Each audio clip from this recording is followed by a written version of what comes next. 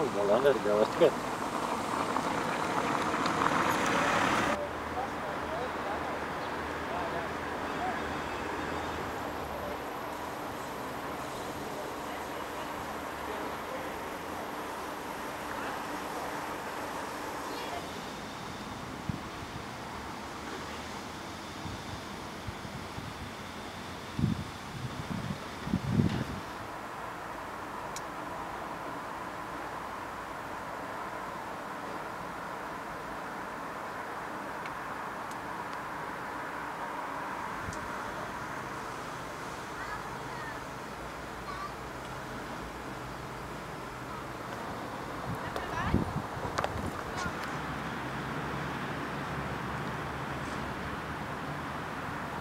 Tā diena ir klāt.